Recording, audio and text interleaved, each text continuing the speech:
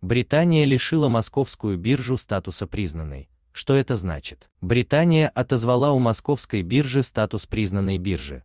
Это лишит инвесторов налоговых льгот, об этом пишет РБК Украина со ссылкой на сайт ведомства Британии. Что значит лишить статуса признанной биржи? Отныне инвесторы, торгующие на московской бирже, не смогут получить доступ к определенным налоговым льготам при торговле ценными бумагами.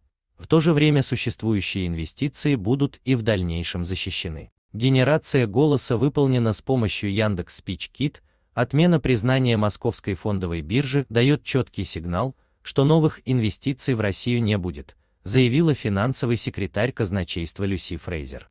В общем, статус признанной фондовой биржи является классификацией, которая присваивается управлением по налоговым таможенным сборам Великобритании в целях налогообложения. Все ценные бумаги, которые торгуются на бирже, имеют налоговые льготы. Напомним, РБК Украина писала о том, что Великобритания в ответ на вторжение России на территорию Украины уже планировала лишить московскую биржу статуса признанной фондовой биржи. Срочные и важные сообщения о войне России против Украины читайте на канале РБК Украина в Телеграм –